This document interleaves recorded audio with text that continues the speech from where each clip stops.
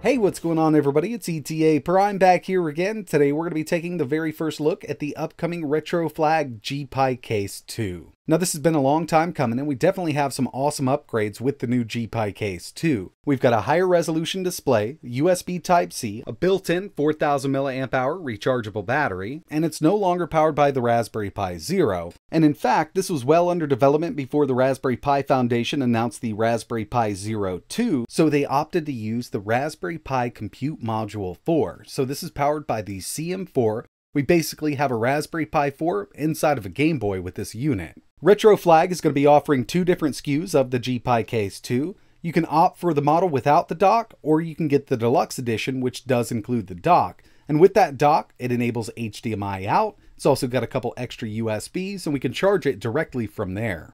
So I've had the G-Pi Case 2 in my possession for the last two weeks. I've been messing around with the deluxe edition, and in this video we're going to do a quick unboxing of the standard edition. And really, the only difference between the two is the deluxe edition includes the dock. Inside of the box, you're going to get your instruction manual that shows you how to do a full assembly and install your CM4 inside of the G-Pi Case 2. And you will have to install a script to get everything working correctly. It's actually really easy to do. You can head over to the Retroflag website and download it there.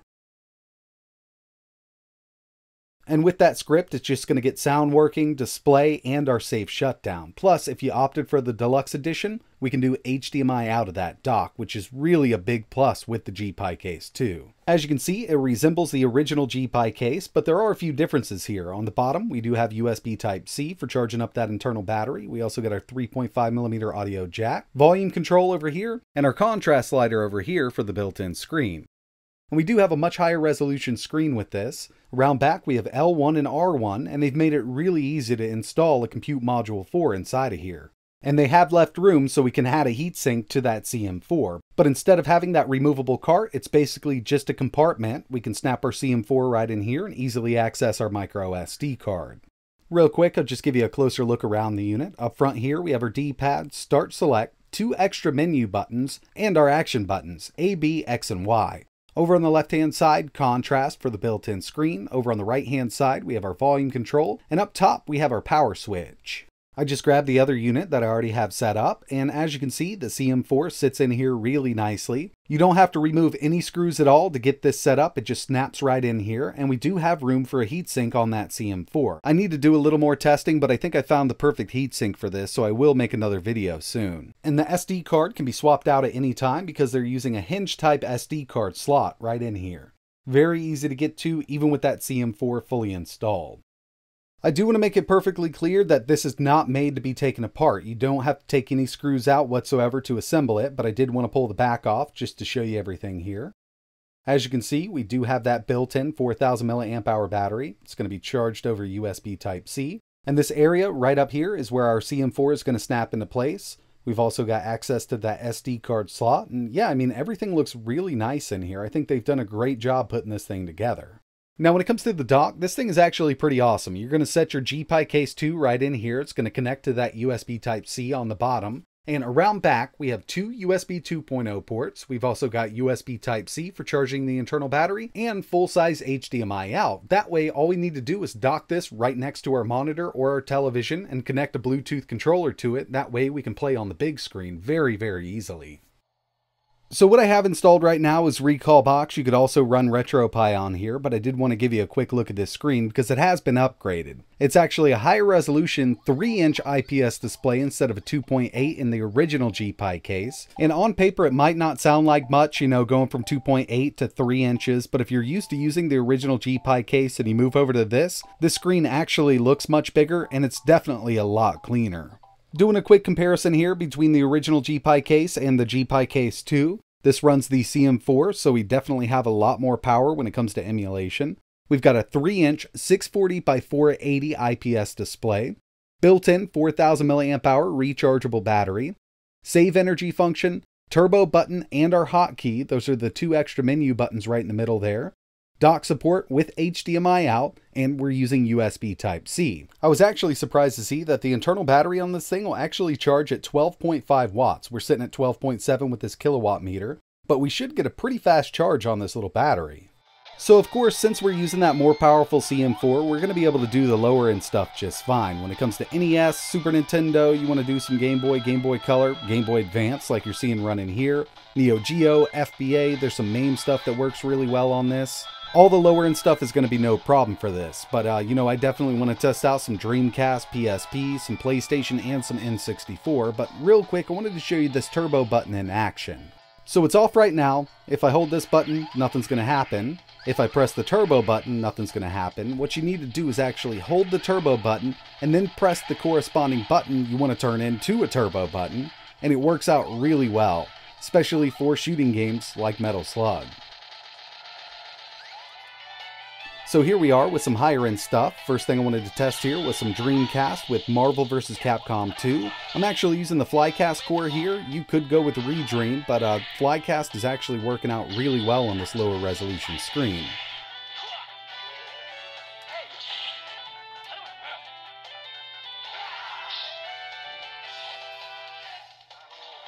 Moving over to some PSP, we have Soul Calibur Broken Destiny, 1x resolution using the OpenGL backend. Easier to run PSP games actually work really well on the CM4 at the stock clocks. If you want to go with a little higher upscale, you can do an overclock, but I think this looks really good on this smaller screen. And of course, we do have amazing PlayStation 1 emulation. Ever since the Raspberry Pi 2, we've been able to get some really good PS1 going, and the CM4 is no different.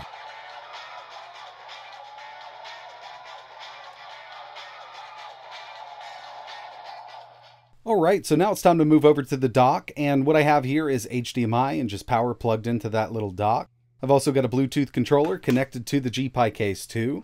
I put this in sleep mode by pressing the sleep button on the top, and as soon as I plug it in, it moves over to HDMI. And this is actually running at 720p over HDMI instead of the built-in screen resolution, but there was one thing that I needed to change, and hopefully this is fixed in the final firmware, but I did have to go into the audio settings and put my sound output to HDMI so we got sound out of this monitor. Otherwise, I wasn't getting any sound, but you know, this could definitely be fixed down the road pretty easily with a firmware update. I think all of this is actually set up in the script, and the one I'm using right now is kind of a beta version, but you know, everything is working pretty decently except for that. We'll move over to a little bit of N64, and like I mentioned, I do have this Bluetooth controller connected to the GPI case 2 over Bluetooth. And yeah, I mean, N64 does run pretty decently on the CM4. Uh, there's been lots of updates to emulation on the Raspberry Pi 4, and that's basically what we have in here. So we are getting some really good N64 performance. You can use the parallel core Mupen 64 Plus is what I'm using right now, but as you can see, with Diddy Kong Racing, this is perfectly playable.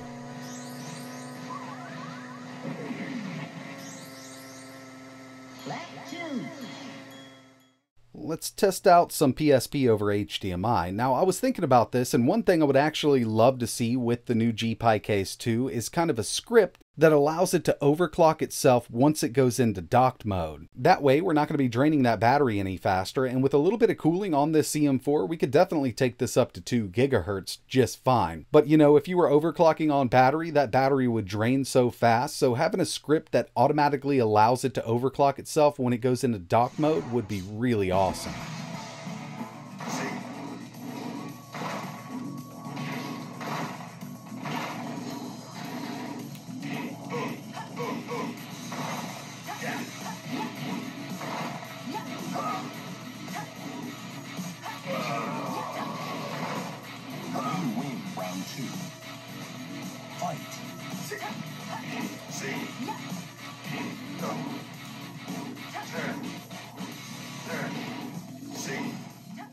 So overall, I do think that this is a welcome upgrade to the GPI case line. We've got that CM4 in here with a lot more power. I would have definitely loved to see at least one analog stick on this unit, but I think they kind of substituted that for HDMI out. That way you could connect your own controller to a bigger display. But you know, without that analog stick right out of the box, it's going to turn off a lot of people. So it would have been really nice to see one here.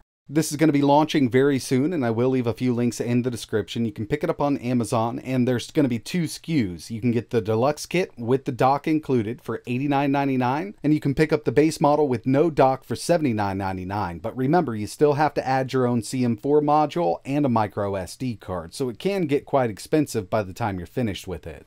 And there's one more button on this thing I forgot to mention. It's actually the sleep button on the top here, or power save button. Basically, it's just going to put it into sleep mode when you press it once. You press it again, it'll wake it back up. That way you don't have to completely shut it down when you're done playing every time.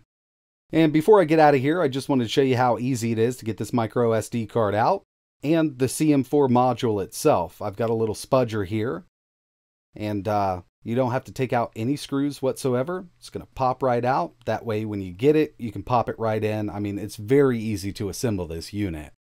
So that's going to wrap it up for my first look at the all-new Retroflag G-Pi Case 2. I'd actually like to know your thoughts in the comments below. Let me know, uh, you know, what it's missing. Are you going to skip it? Are you excited about it? Are you going to get one? Or, you know, you're just going to write it off completely because it doesn't have an analog stick built in. Either way, I'm super interested to know your thoughts, but that's going to wrap it up for this one. If you want to learn more or if you're interested in picking one up, I'll have a few links in the description. And like always, thanks for watching.